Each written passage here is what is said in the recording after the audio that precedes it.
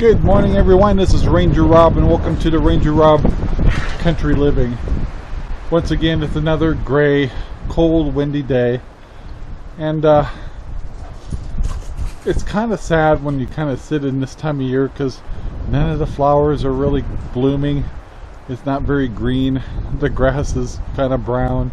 The water systems are off. The leaves have fall, uh, of fall have all fell down, and the grasses, nothing but leaves and things like that. It's almost depressing, but it's also insightful knowing that uh, this place will come to life pretty soon. This is normally all green, and sorry about the wind. I usually have my tomatoes here. I do have my Traeger out, but it's uh, really cold when I'm cooking, and uh, all the pots are empty. Um, projects are going really slow. And uh, yeah, I'm looking forward to uh, when things uh, start coming to life. On the homestead here, we've got so much coming up. Uh, pellet stoves coming in this week. People are eventually going to get the siding done. Uh, structures to build. Rabbit hutches. We are going to go with American rabbits. Once again, I told you I think uh, we're working with Sprague River Homestead to get our rabbits. Uh, another thing I'd like to do is bring in some chukar, but hopefully I have enough time to build all these pens. And uh, the rabbit hutches, we want them to be kind of roomy. I just don't want to get rabbits and just stick them in a little small area and, and not let them thrive. So we're really contemplating what that rabbit hutch design is going to look like. So, uh, yeah, that's this is the time of year to kind of plan things out. Uh, we got to start planning what we're going to do with this garden. Make sure we have our seeds, which we have most of it. Uh, we need a fence. If you haven't noticed, I have two rambunctious dogs. This whole area will get fenced before we plant it, but we still got to bring some more uh, compost in on this, blend it one more time, and then add in our water system.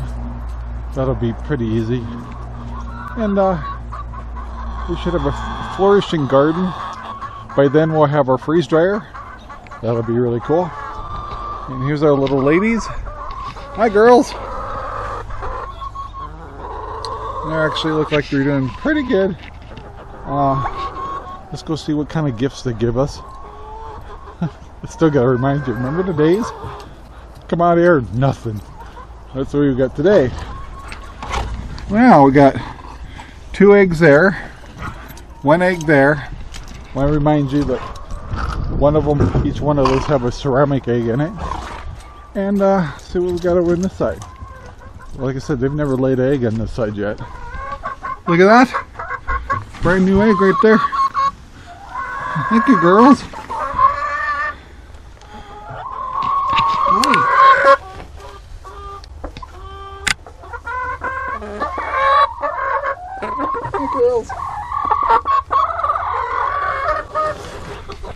They're so proud of themselves leaving us eggs. So, uh, yeah, let me grab some eggs and uh, we'll talk some more.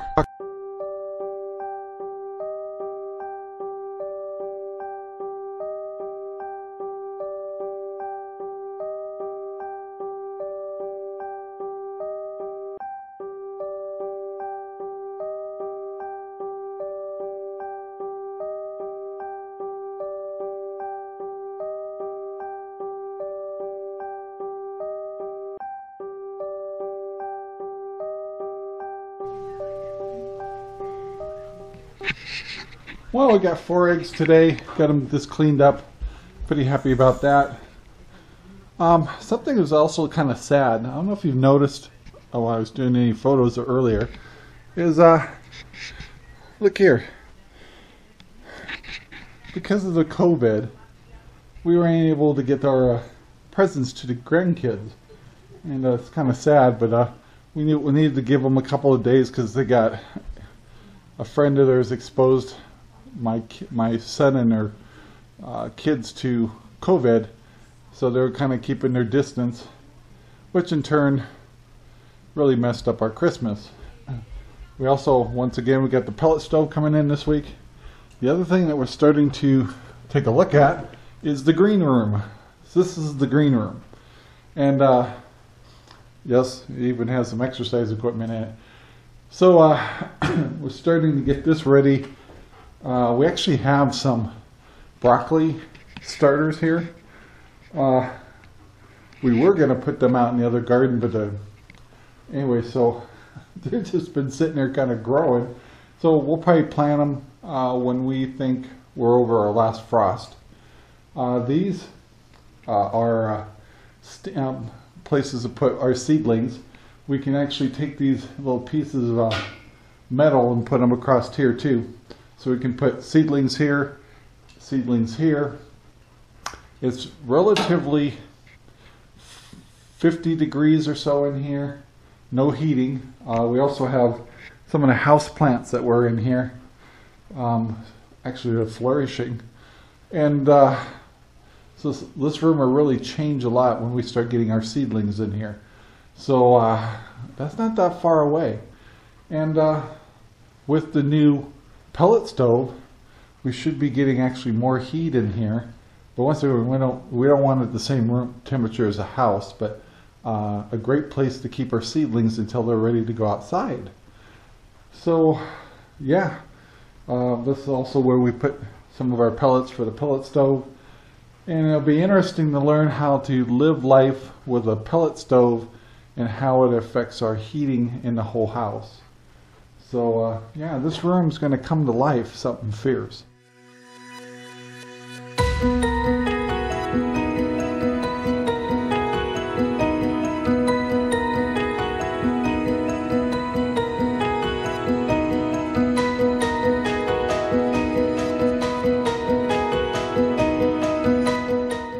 Hi guys, that was my day today. Um, picked up about four eggs today. Did a little walk in the yard. Kind of uh, sad to see everything still dormant. Um, thought I'd enjoy a cup of coffee,